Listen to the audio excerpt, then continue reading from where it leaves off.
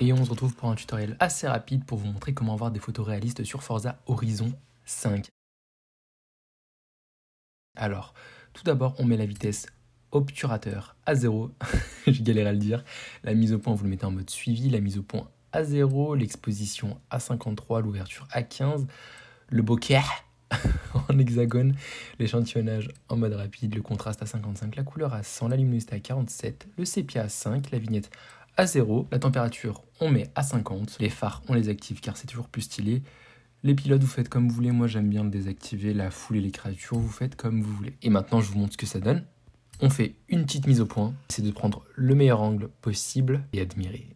Oh my god. Et j'ai la miniature pour la vidéo.